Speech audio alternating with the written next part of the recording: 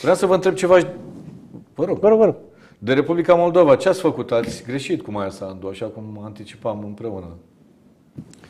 Dâns și, Eu- ca să zic așa, pardon de expresie, nu prea îi place democrația. Îi place doar puterea și europenism. Eu cred că dacă ar fi să trecem dincolo de orice pudibonderii care nu și-au rostul, Așa aș vrea să facem, dacă se poate.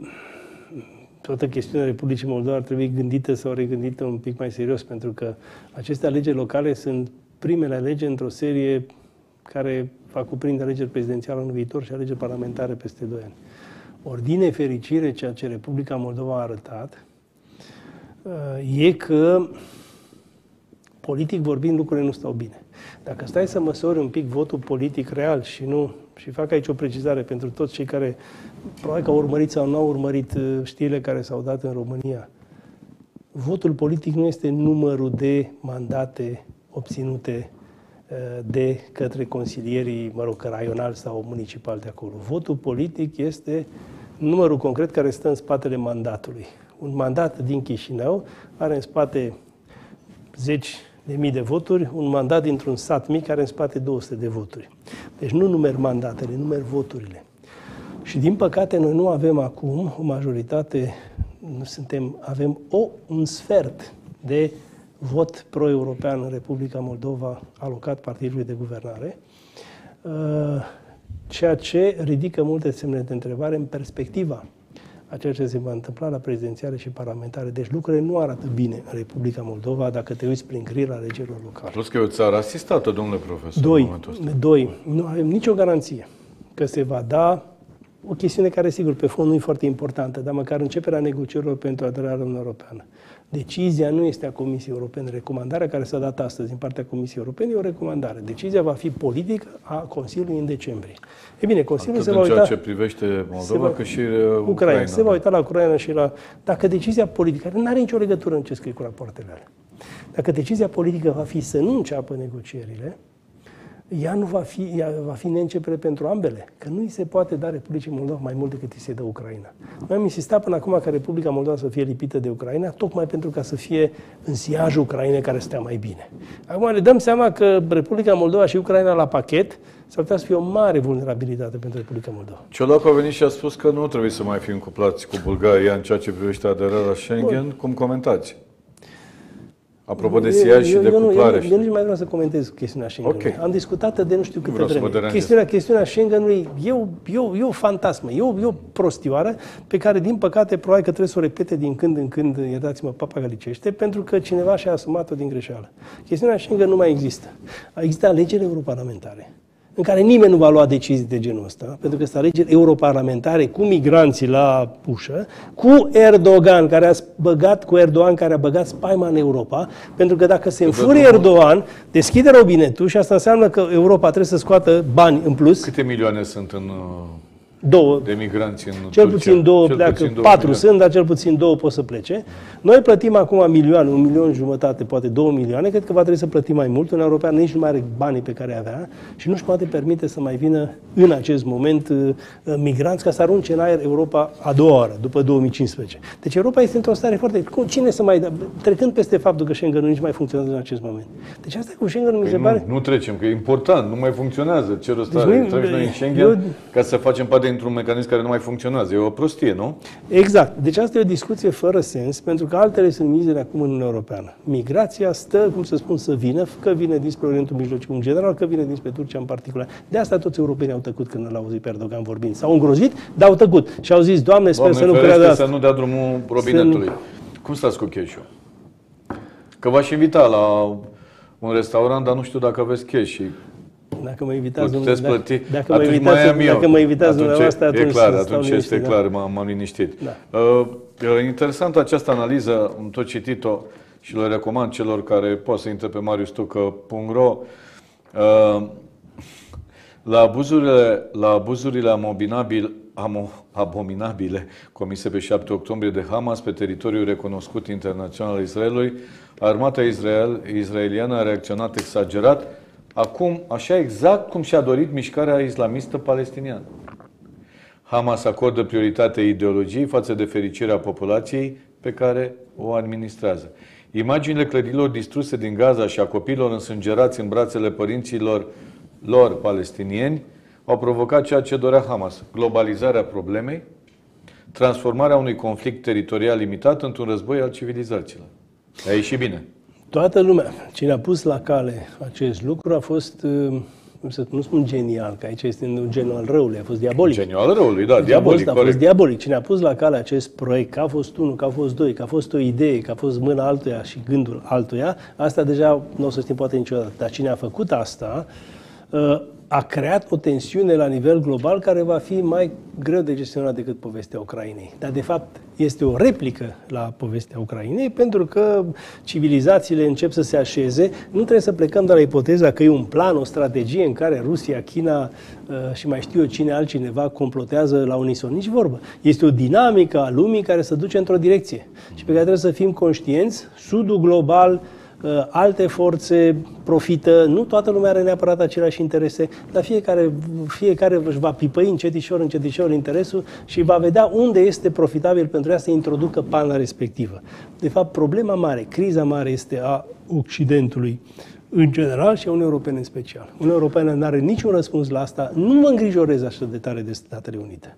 Pentru că inclusiv reacția... Și de faptul că Europa mă, mă, mă, mă, mă, mă, mă îngrozește ideea că Europa în acest moment nu are nici măcar un răspuns corent la asta. Singura soluție este să ne integrăm în continuare în 2030 să vie și Balcane, și Ucraina, și Republica Moldova în Europa. Da, e singura soluție pe care eu o aud și dacă și asta nici, mai e soluție... Și nimic altceva. Și nimic altceva. Ceea ce e o non-soluție. Dar care este strategia Israelului pe termen mediu și lung? Odată terminată curățenia, cui va încredința statul evreu administrarea acestui teritoriu ocupat? Cine va fi de acord să gestioneze acest morman de cenușă?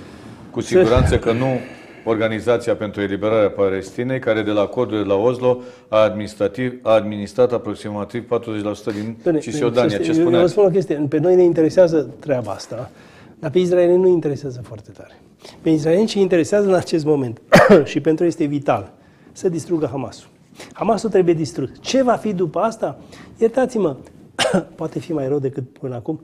Israelul a făcut greșeli de securitate majore greșeli pe termen lung, evaluare pe termen lung greșită și pe termen scurt, adică modul în care și-a așezat dispozitivul de securitate internă, modul cum au reacționat uh, instituțiile de securitate, tot a fost greșit. A, f- a, fost, a fost greșeala celui care crede că nu se mai poate întâmpla nimic.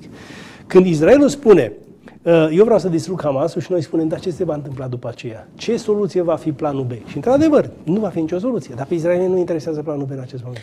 Pentru că ei sunt obișnuiți să trăiască la asemenea crize pe care le rezolvă nemilos, merg mai departe, se vor confrunta cu o altă criză. Ei nu se pot gândi la planul B neapărat. Nu, și nu interesează soarta Occidentului, nici nu. vorbă de așa ceva. Nu interesează altă soartă decât soarta lor, ca să o punem mai Impactul mai global al adică acestui dacă... război va fi nefavorabil nu numai Israelului, ci întregului Occident. Strategic, statul evreu a revenit, revine acolo unde era în 1982 momentul invaziei Libanului.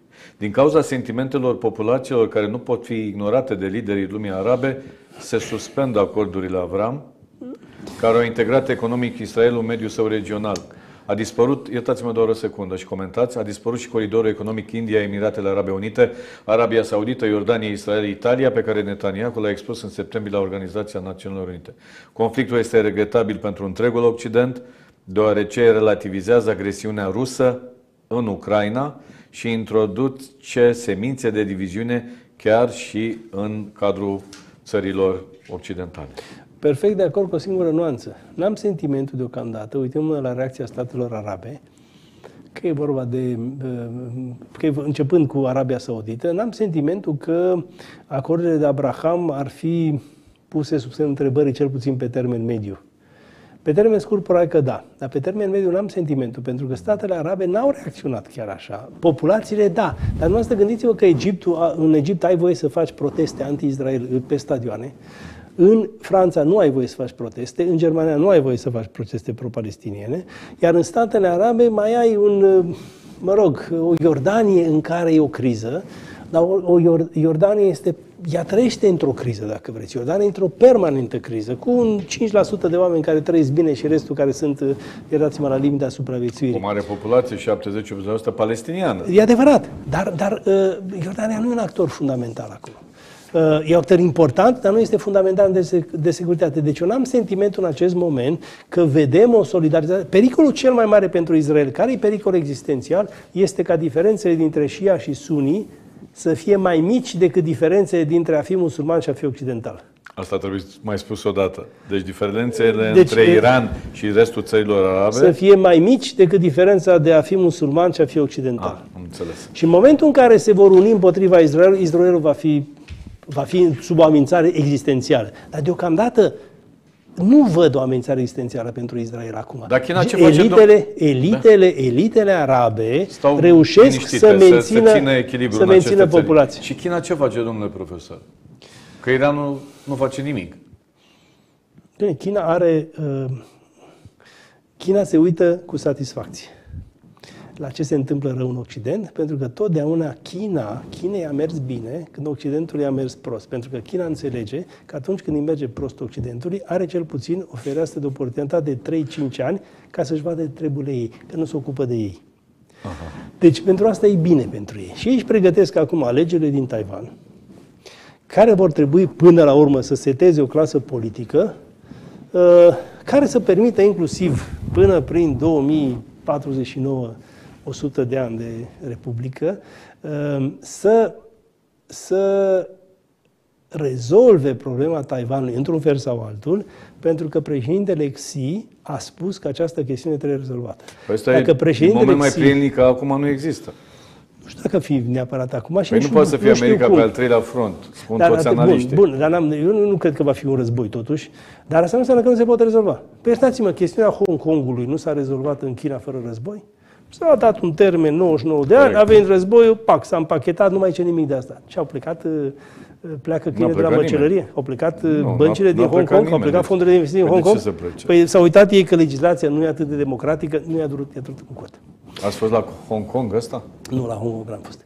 Dar ce vreau să spun este că China acum, într-o situație de genul ăsta, n-are decât să se bucure. Pentru că ea așteaptă ca energiile să fie stecate, așteaptă ca Rusia... Ei convine și că Rusia e suficient de slabă. Ceea ce ar dori uh, China în acest moment, probabil, este ca relația între Statele Unite și Uniunea Europeană să nu fie atât de puternică. China ar conveni într-un fel. un Păi dacă vine președinte- Trump, nu va mai fi. Un președinte ca Trump, unul, că poate cut deals, ca să zic așa, să se facă înțelegeri cu Trump, măcar știe o treabă. Doi, speră că dacă vine Trump, Uniunea Europeană se va suveraniza. Și atunci China poate să se ducă să spună, hai domnule să lăsăm pe nebun, puneți ghilimele de Pe Trump rigoare. și să colaborăm. Problema este că cu Trump nu e atât de ușor de, de, de rezolvat, pentru că capacitatea de deterrence a lui Trump, ne place sau nu ne place, este enormă. Crezi că acțiunile domnișoare care are proces? Doamna blondă, actriță de filme. Ei, voi, totuși, adică se Asta pare este. că multe din ecuațiile uh, vremurilor care vin, ale lumii în general, țin, uh, rezolvarea acestor ecuații ține de Trump, domnule profesor. Eu v-am spus că lumea începe să-l vedete mai competent pe Donald Trump, pentru că toată lumea spune la câte probleme sunt. Și administrația Biden nu le face față, măcar să vină unul care nu are ideologia în spatele soluției Și care e mult mai și are viu. soluția. Și mai mult mai Când viu. totul, când totul în lume este o ideologie, re- ajung să nu mai rezolv problema. Eu am făcut pariu cu Ion Cristoiu că va câștiga Trump alegerile și am mai făcut vreo două pariuri. S-ar putea să, să ies la liman cu ocazia asta. Mai un pic până la anul.